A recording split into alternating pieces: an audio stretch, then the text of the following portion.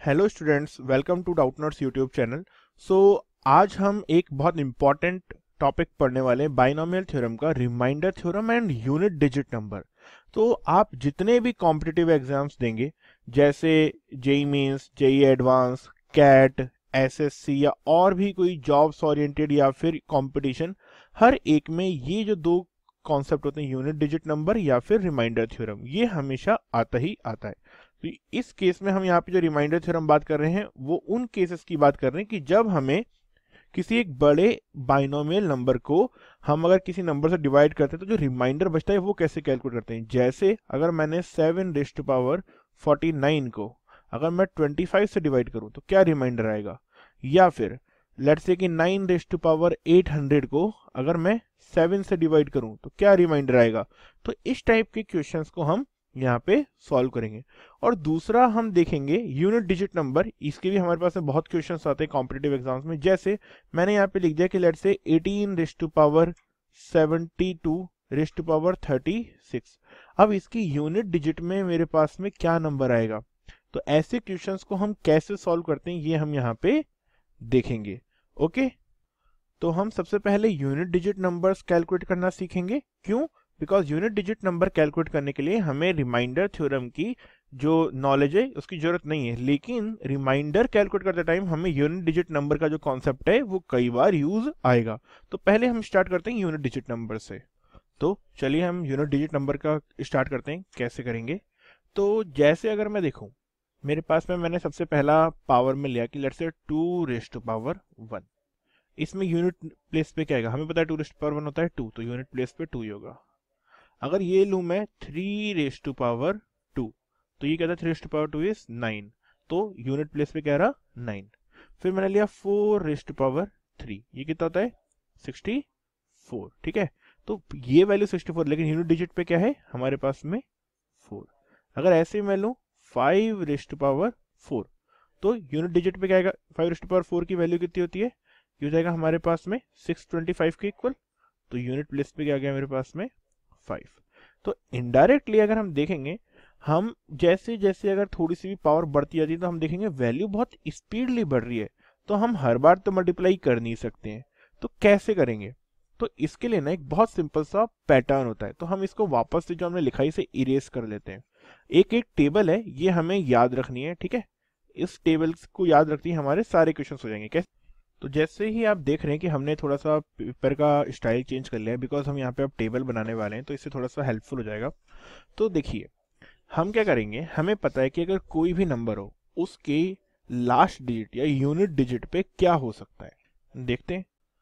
तो unit digit पे zero से लेकर के नाइन तक के सभी नंबर्स पॉसिबल हो सकते हैं zero one two three four five six seven eight nine अब जैसे नंबर है तो जैसे हमारे पास 22 नंबर है हमें पता चल गया इसकी यूनिट डिजिट पे टू है लेकिन इसकी कुछ पावर भी तो हो सकती है जैसे वन हो सकती है टू हो सकती है थ्री हो सकती है तो ऐसे ही पावर भी हो सकती है कुछ भी तो सबसे मिनिमम पावर क्या हो सकती है लेट से इंटीजर्स पावर की बात कर रहे हैं बस अभी हम यहाँ पे तो मिनिमम पावर हो सकती है यहाँ पे वन और इंटीजर भी ग्रेटर देन ज़ीरो तो मिनिमम पावर क्या हो जाएगी यहाँ पे वन फिर हो सकती है टू हो सकती है थ्री हो सकती है फोर हो सकती है फाइव भी हो सकती है ठीक है तो अगर ज़ीरो की पावर वन हो, जैसे क्योंकि यूनिट प्लेस पे अगर ज़ीरो है किसी नंबर में, और उसकी पावर हम कुछ भी कर लें, हमें पता है हमेशा ज़ीरो रहता है तो ये हमेशा वैल्यू ज़ीरो ही रहेगी। हमें पता है इस चीज़ में कि हम कुछ भी कर लें ज़ीरो ही रहेगी।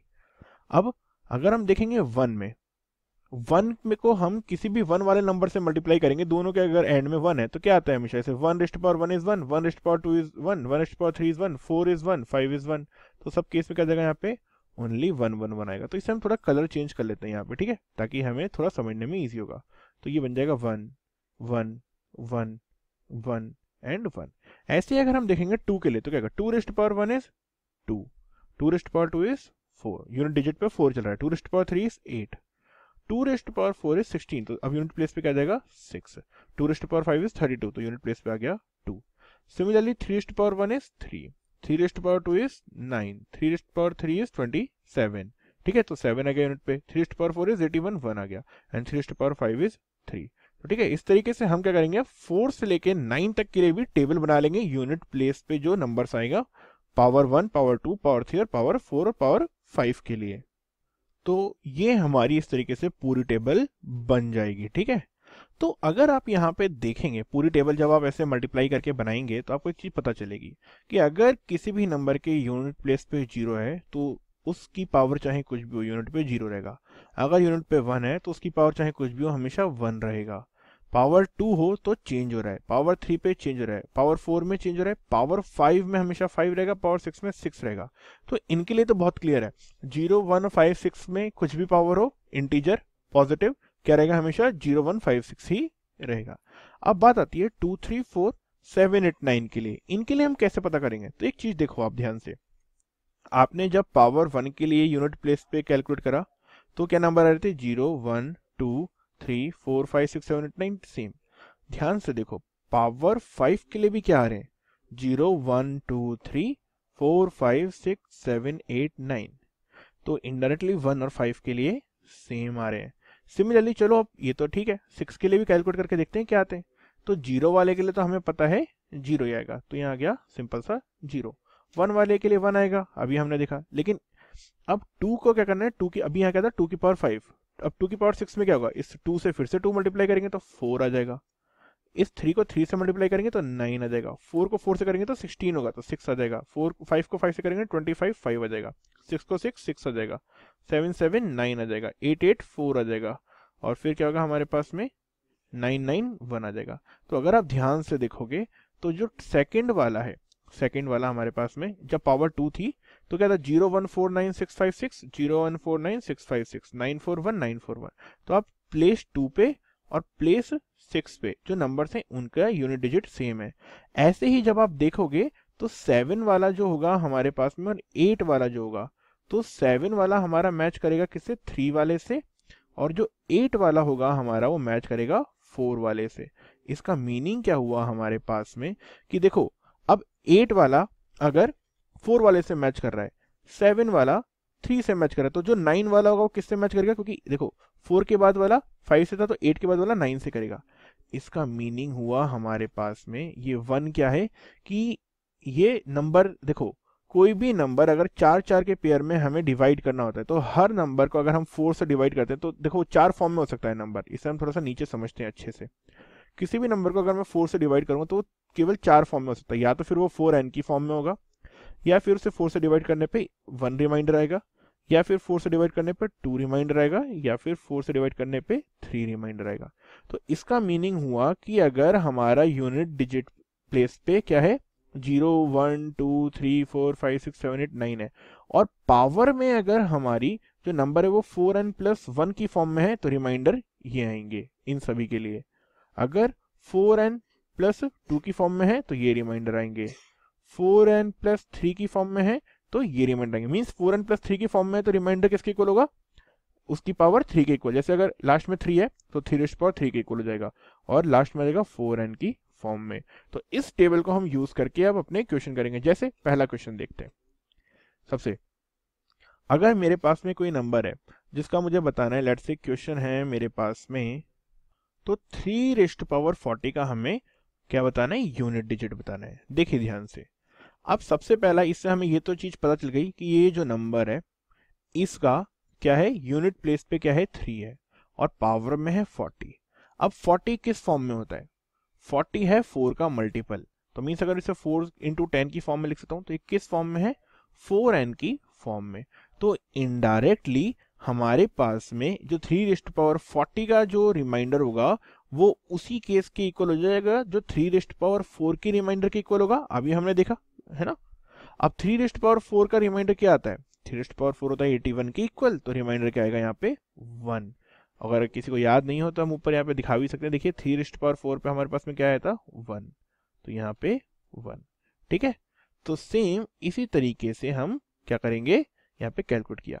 अब अगर आप एक इंपॉर्टेंट बात देखेंगे ना यहाँ पे तो जैसे ये थ्री रिस्ट पावर फोर्टी है, चाहे यहाँ पे twenty three raised power forty होता seventy three raised power forty होता। मीन्स हम क्या करेंगे, अगर यूनिट डिजिट हमारा फिक्स है और पावर ऊपर की फिक्स है तो अंदर का नंबर के अगर हम चाहें, सी यहाँ टू टू, थ्री लिखा हुआ है, one twenty three, one thousand one hundred twenty three, कुछ भी लिख लीजिए, रिमाइंडर हमेशा वन ही रहेगा। मीन्स यूनिट डिजिट हमारे पास में वन ही रहेगा, रिमाइंडर नहीं, यूनिट डिजिट हमेशा वन ही रहेगा। अब ये था थ्री के लिए बात। अगर मैं दूसरा नंबर लूँ लेट से हम दूसरे क्वेश्चन की बात करते हैं, जैसे वो है thirty two raised power thirty two. तो इसको अगर हम देखेंगे तो ध्यान से अगर आप देखें तो इसके केस में हमारे पास में यूनिट डिजिट पे क्या है? टू तो सबसे पहले तो प्रॉब्लम में आ गया टू अब इसका यूनिट डिजिट डिपेंड करेगा ओनली टू के ऊपर। पावर क्या है? 32 तो पावर आ गई 32 इन दोनों को अलग से सेपरेटली बाहर ले लिया। अब 32 किस फॉर्म में है? 32 होता है फोर एन की फॉर्म में। तो ये इनडायरेक्टली किसके इक्वल हो जाएगा? टू रिस्ट पावर फोर का जो रिमाइंडर था, उसी के इक्वल वो होता है 16 तो रिमाइंडर क्या जाएगा? 6 यहाँ पे आ गया 6 अगर यही हमारे पास में पावर 33 होती तो क्या होता यहाँ पे? 33 हो जाता और उस केस में ये number four N plus one की फॉर्म में हो जाता और हमारा रिमाइंडर क्या होता? वो डिपेंड हो जाता टू रिस्ट पावर वन वाले केस के ऊपर तो हो जाता रिमाइंडर टू के इक्वल तो अगर आपने देखा कि यूनिट डिजिट निकालना तो सबसे सिंपल टास्क है, इसमें कुछ करना ही नहीं। अच्छा अब कॉम्प्लिकेशन कहाँ बढ़ती है थोड़ी सी? अब एक डिफ़िकल्ट क्वेश्चन देखते हैं थोड़ा सा। देखिए, आपके पास एक क्वेश्चन है, ध्यान से। ये लिखा हुआ है seventeen raise to power twenty five raise to power sixteen इसे आप कैसे सॉल्व करेंगे? तो ऐसे क्वेश्चन में दिक्कत क्या होती है? सी अभी तक के क्वेश्चन में तो हमें जो ऊपर वाला नंबर था ना, वो पता चल जा रहा था कि वो फोर एन की फॉर्म में है फोर एन प्लस वन की फॉर्म में या पता नहीं चल रहा है। तो ये हमें पता लगाना पड़ेगा, कैसे करेंगे? तो इस जो पावर है, इसको हम अलग से लिख लेते हैं। तो अगर twenty five raised power sixteen ठीक है? अब ट्वेंटी फाइव को मैं क्या लिख सकता हूँ सिंपल सा? इसे मैं लिख सकता हूँ 24 प्लस वन मैंने इसे 24 प्लस वन क्यों लिखा है? क्योंकि मुझे फोर के मल्टीपल की फॉर्म में ही इसे ब्रेक करना होता है, ठीक है? तो 24 प्लस वन रिस्ट पावर 16 अब अगर मैं इसका बाइनोमियल एक्सपेंशन लिखूँगा तो कैसे चालू होगा? 16 C zero twenty four raised power sixteen फिर क्या होगा नेक्स्ट टर्म में? Sixteen C one twenty four raised power fifteen और ऐसे लास्ट करते करते मेरे पास में, सबसे लास्ट सेकेंड लास्ट टर्म होगी sixteen C fifteen twenty four raised power one और उसके बाद में केवल एक टर्म बचेगी सिक्सटीन सी सिक्सटीन तो अगर आप ध्यान से देखेंगे तो इससे पहले की जो सारी टर्म होगी लास्ट टर्म से पहले की, हर टर्म में ट्वेंटी फोर आ ही रहा है। ट्वेंटी फोर यहाँ भी है ट्वेंटी फोर यहाँ भी है। और हमें पता है twenty four is multiple of four तो इनडायरेक्टली ये जो सारी टर्म्स हैं, ये तो फोर की मल्टीपल की फॉर्म में है। तो ये पूरा तो हमारा फोर इंटू एन की फॉर्म में हो गया। और लास्ट में है sixteen C sixteen which is one तो इनडायरेक्टली ये पूरा number four N plus one की फॉर्म में है। तो ये तो बहुत ही सिंपल हो गया ना हमारे लिए टास्क तो इनडायरेक्टली जो पूरा नंबर किस फॉर्म में है? फोर एन प्लस वन की फॉर्म में है। तो ये किस पे डिपेंड करेगा? यूनिट डिजिट हमारे पास में सेवन है। तो रिमाइंडर डिपेंड करेगा seven raised power four N plus one वाले केस के लिए which is seven raised power one which is equal to seven तो रिमाइंडर आ गया सेवन तो इस तरीके से हमें क्वेश्चन को सॉल्व करना होता है। कोशिश करनी होती है कि उन्हें हम फोर की फॉर्म में किसी ना किसी तरीके से ब्रेकआउट कर पाए। तो ये हमारे पास में यूनिट डिजिट निकालने का तरीका था। अब हम देखते हैं रिमाइंडर हम कैसे कैलकुलेट करेंगे। तो रिमाइंडर हम बाइनोमियल थ्योरम का यूज़ करते हुए कैलकुलेट करेंगे। कॉन्सेप्ट हम यूनिट डिजिट वाला यूज़ करेंगे, लेकिन थोड़ा सा डिफरेंट तरीके से। देखिए, अब रिमाइंडर और जो यूनिट डिजिट है, उसमें पहले सेम इंपॉर्टेंट बात क्या है देखते हैं। तो अगर आप ध्यान से देखेंगे, जैसे सेवन रिस्ट पावर थ्री। तो सेवन रिस्ट पावर थ्री है हमारे पास में टू फोर्टी थ्री। ठीक है? कोई डाउट इस चीज़ में? नहीं। अब अगर हम देखेंगे यहाँ पे, इसका यूनिट डिजिट हमने बोला क्या है? थ्री। यूनिट डिजिट आया थ्री। लेकिन ये यूनिट डिजिट थ्री आता कैसे? कोई तो तरीका होगा इसे निकालने का। तो अगर मैं ध्यान से देखूँ यूनिट डिजिट निकालने के लिए अगर इस नंबर को मैं टेन से डिवाइड कर दूँ, टेन से तो क्या होगा?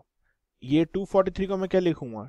10 into twenty four plus three तो इनडायरेक्टली 10 24 टाइम्स तो ये 10 से डिवाइड हुआ, लेकिन मेरे पास जो 3 बचा एंड में, वो आया रिमाइंडर अब तो इनडायरेक्टली हमारे पास में जो रिमाइंडर या यूनिट डिजिट निकालने का तरीका था कि हम नंबर को टेन से डिवाइड कर रहे थे और लास्ट यूनिट डिजिट निकाल रहे थे। ठीक है? ये एक तरीका था। अब बाकी केस में क्या करेंगे? जैसे अगर मैंने बोला कि 243 को ही मैं 9 से डिवाइड करूँगा तो एक तो तरीका होता है कि हम जनरल डिवाइड करते रहे करते रहे करते रहे। लेकिन अगर आप ध्यान से देखेंगे तो 243 के केस में हमने क्या करा था? 243 के केस में हमने इसे लिखा था 240 फोर्टी प्लस थ्री मीन्स एक टर्म को मैंने बनाया था टेन के मल्टीपल की फॉर्म में और दूसरे को बनाया था टेन ज़ीरो से लेकर के नाइन तक की फॉर्म में, ठीक है? क्योंकि रिमाइंडर हमेशा उस नंबर से छोटा ही हो सकता है है ना? अब जैसे अगर मेरे को कोई एक नंबर गिवन है लेट से कि eight raise to power five है है ना? इसको मुझे सेवन से डिवाइड करके रिमाइंडर बताना है। तो मैं क्या करूँगा? ऐसे क्वेश्चन में हमेशा हमारा जो नंबर है, उसको उस तरीके से लिखिए कि हमारा जिससे हम डिवाइड कर रहे हैं, वो उसमें कहीं ना कहीं आ जाए। जैसे अगर आप ध्यान से देखेंगे तो मैं क्या कर सकता हूँ? मैं एट को क्या लिख सकता हूँ? एट को मैं लिख सकता हूँ seven plus one okay seven plus one तो अगर सेवन प्लस वन लिखूँगा तो ऊपर का नंबर क्या हो गया मेरे पास में? ये हो जाएगा seven plus one raise to power five upon seven ठीक है? अब सेवन प्लस वन की पावर फाइव का बाइनोमियल एक्सपेंशन अगर मैं लिखूं, ध्यान से देखते हैं बाइनोमियल एक्सपेंशन में लिखता हूँ यहाँ पे तो क्या होगा सबसे पहले?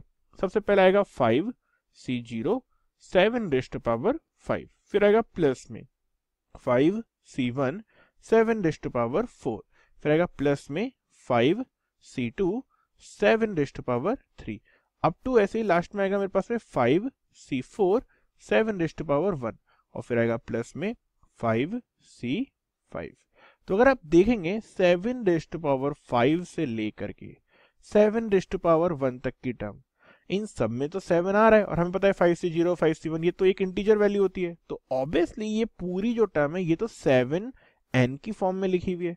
तो और बचा हुआ है मेरे पास में फाइव सी फाइव इसकी वैल्यू क्या होती है? वन तो इनडायरेक्टली ये पूरा नंबर क्या है? सेवन एन प्लस वन की फॉर्म में है। तो सेवन एन प्लस वन की फॉर्म में मेरा न्यूमरेटर है और नीचे डिनोमिनेटर है सेवन तो सेवन से डिवाइड करने पे मेरे पास बचेगा क्या? ऊपर केवल एक वन ही तो बचेगा, क्योंकि इसे मैं क्या लिख सकता हूँ? एन तो मेरा क्या हो जाएगा? ये हो जाएगा number seven into N plus one तो जो रिमाइंडर आया वो क्या आ गया? वन तो जब भी हमें कोई क्वेश्चन करना होता है, हमेशा क्या करो न्यूमरेटर को या जिससे हमें डिवाइड करके रिमाइंडर कैलकुलेट करना है, उसकी फॉर्म में लिखते हैं। तो अब एक और एग्जांपल देखते हैं यहाँ पे, जैसे आप दिखेंगे यहाँ पे। अब मेरे पास में एक नंबर है nine raised to power sixty three ठीक है? अब nine raised power sixty three को मुझे डिवाइड करना है किससे? टू से। और रिमाइंडर बता रहे हैं। तो अब टू से डिवाइड करने में आइधर रिमाइंडर ज़ीरो होगा या वन होगा। एक तो बहुत सिंपल तरीका है कि मुझे ये पता है कि ये एक ऑड नंबर है। ऑड नंबर को मैं 63 टाइम्स मल्टीप्लाई कर रहा हूँ। तो मेरे को पता है कि at the end of the story मेरे पास नंबर तो ऑड ही आने वाला है। तो ऑड नंबर को जब भी मैं टू से डिवाइड करूँगा तो रिमाइंडर मुझे पता है ज़ीरो तो हो नहीं सकता क्योंकि वो इवन नंबर पे होता है तो रिमाइंडर आ गया वन ये तो देखिए बहुत शॉर्ट ट्रिक थी। समझिए बात को। हमने क्वेश्चन को कितना जल्दी सिंप्लीफाई कर लिया? केवल इस क्वेश्चन के लिए क्योंकि हमें ट्रिक मिल गई थी यहाँ पे। ये ऑड नंबर है ऑड नंबर की पावर ऑड ऑड नंबर आएगा ऑड नंबर को टू से डिवाइड करने पर रिमाइंडर ज़ीरो नहीं हो सकता, इसलिए वन बट एक्चुअल में हम इसे सॉल्व कैसे करेंगे? तो फिर से अगर मैं देखूँगा यहाँ पे तो नाइन को मैं किस तरीके से ब्रेक कर सकता हूँ कि वो टू की फॉर्म में आ जाए? तो अगर आप ध्यान से देखेंगे तो हमें पता है टू क्या होता है? टू टू स्क्वायर क्या होता है? फोर टू क्यूब क्या होता है? एट तो एट क्या है? नाइन के बहुत क्लोज है। तो क्या नाइन को मैं एट प्लस वन लिख सकता हूँ? एट प्लस वन ऐसा करने से क्या होगा? देखते हैं। तो ऐसा करने से हो गया मेरे पास में एट प्लस वन की पावर सिक्सटी थ्री और इसे डिवाइड करना है मुझे टू से। तो अगर मैं इसका बाइनोमियल एक्सपेंशन लिखूँगा तो पहली टर्म मेरे पास में क्या आएगी? वो आएगी 63 सी ज़ीरो एट की पावर 63 ऐसी क्या होगा? One two three up to कहाँ तक जाते रहेंगे हम? 63 सी 62 तक। फिर आएगा मेरे पास में eight raised to power one last में आएगा, लेकिन सबसे एंड में आएगा मेरे पास में 63 सी 63 तो ये तो एक कांस्टेंट वैल्यू है, जिसकी वैल्यू है हमारे पास में इक्वल टू वन तो इस वैल्यू को अगर मैं देखूँ तो क्या बचा मेरे पास में? पूरा नंबर आ गया मेरे पास में eight times of N plus one की फॉर्म में, ठीक है? तो यहाँ से हम क्या बोल सकते हैं इसे? ये रिमाइंडर आ जाएगा इक्वल टू वन अच्छा अगर एक और इंपॉर्टेंट बात सोचिए आप। अगर ये नाइन की जगह सेवन होता, ठीक है? एक चीज़ हम समझते हैं यहाँ पे सेवन तो ये होता seven raised power sixty three okay और डिनोमिनेटर में आपकी बात टू की जगह होता, हमारे पास में लेट से एट ठीक है? तो अब क्या करेंगे हम? ऊपर वाली टर्म को कोशिश करेंगे किस फॉर्म में लिखने की? कोशिश करेंगे लिखने की एट की फॉर्म में। तो ये आ जाएगा सिंपल सा हमारे पास में eight minus one raise to power sixty three upon में आ गया एट एट से हम डिवाइड कर रहे हैं। तो अब बाइनोमियल एक्सपेंशन लिख देंगे यहाँ बहुत सिंपल सा। तो आ जाएगा sixty three C zero eight raised power sixty three फिर आएगा प्लस में। अच्छा अब की बार प्लस नहीं होगा, अब की बार माइनस होगा। ध्यान से देखिए। क्योंकि अगली टर्म में क्या होगा मेरे पास में? सिक्सटी थ्री सी वन आएगा। एट की पावर तो मेरे पास में सिक्सटी टू हो जाएगी, कोई दिक्कत नहीं लेकिन नेक्स्ट टर्म क्या होगी? माइनस वन की पावर वन तो या माइनस आएगा। ऐसे अगर हम करते जाएँगे तो जो मेरे पास में सेकेंड लास्ट टर्म आएगी, वो होगी sixty three C sixty two उस केस में क्या होगा मेरे पास में? एट की पावर तो वन आएगा, लेकिन माइनस वन की पावर सिक्सटी टू हो जाएगा विच इज़ वन और लास्ट टर्म आएगी sixty three C sixty three minus one तो आ जाएगा क्या? माइनस वन की power sixty three is minus one तो आ जाएगा sixty three C sixty three अब यहाँ ना एक गेम है। आपको समझना होगा इस चीज़ को। ये क्या है? हमें पता है कि यहाँ से लेकर के लास्ट तक की जितने भी टर्म्स हैं, इन सब में एट एट एट आ रहा है। तो ये सारी टर्म्स मेरे पास में एट एन की फॉर्म में है। लेकिन 63 सी 63 ये वन है और माइनस का साइन है। तो आ गया एट एन माइनस वन तो मीन्स मेरा जो पूरा एक्सप्रेशन है ये ये किस फॉर्म में है? एट एन माइनस वन की फॉर्म में है। और इसे मुझे पूरे नंबर को डिवाइड करना है एट से और फिर रिमाइंडर बताना है।